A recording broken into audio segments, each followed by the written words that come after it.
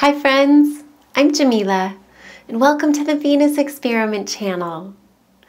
So today is Thursday, November 7th, and we have one last day of this emotionally sensitive Pisces moon happening, bringing us all really into our emotional bodies and feeling all of those feelings and today is the exact alignment of Saturn sextiling Neptune for the final time, which is that bridge between the magical and the reality. And we get to walk across it today, and really the rest of the week we'll still feel it, but especially with this Pisces moon really bringing us over to that magical place. And today the moon is squaring Jupiter, so there's a little bit even more of a tendency to overdo it or to want to escape.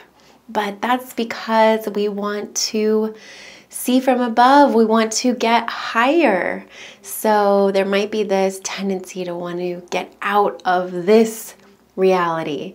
But just remember there's this magical bridge still happening, so we can use it really consciously and we can go over to the magical realm and then we can come back with our treasures for the real world. It's an incredibly magical alignment, friends, so I hope you can really use it and tap into your higher self and bring it back into this real 3D reality.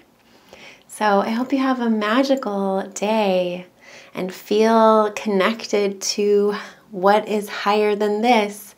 And we don't have to check out that way because you can get higher by connecting to your higher self.